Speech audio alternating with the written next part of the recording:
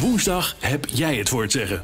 Dan zijn de gemeenteraadsverkiezingen. De gang naar de stembus moet je zelf maken, maar daarna pakken wij het voor je op.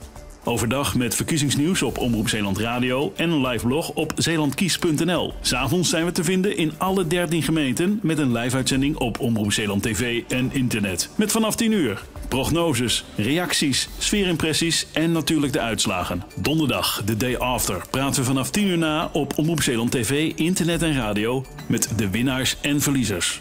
De gemeenteraadsverkiezingen volg je via Omroep Zeeland Radio, tv en de verkiezingssite zeelandkiest.nl.